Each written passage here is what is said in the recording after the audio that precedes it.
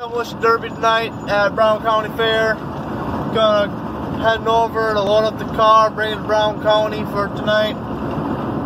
Number 26C.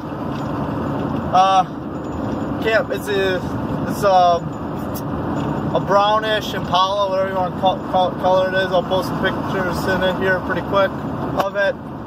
Uh, that's what I've been doing the last week. Been pretty slow month. Was up in Crandon. Did, never made any videos. Killed the perch up there on a couple are on the lake. We were fishing. If I came back, well, came back with a lot of perch. I don't even know the correct number, but we were catching limits.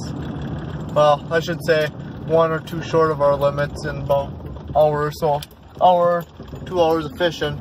Just pounded them, but haven't been doing a whole lot of fishing. Haven't been getting hunting stuff ready. I'm scrambling for everything. Scrambling on this derby car I've been working on last week. Came home from Crandon uh, last Wednesday, last Thursday. I started working on the car.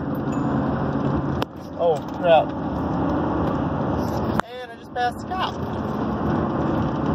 Yeah. I throw my phone down because I'm talking here on my phone. The cop sitting right there, glaring right at me. Good thing I wasn't speeding. Don't speed, kids. Um.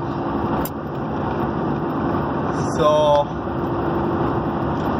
Yeah, that's about it. I'm gonna try and get that video up probably in the next couple days of Derby night if I can get someone to record it. I'd like to have someone record it so I can uh, get it up on YouTube. So first demolition derby, first car I ever got ready.